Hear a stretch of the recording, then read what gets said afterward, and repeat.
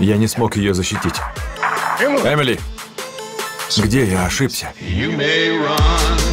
Иногда я ее вижу. Говорю с ней.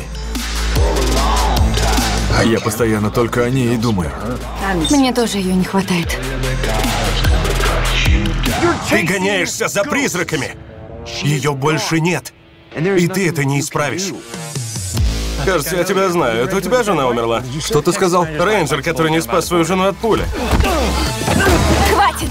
Понимаю, у тебя большое горе. Можешь на меня положиться, это моя работа. Но я должна знать, что ты не подведешь.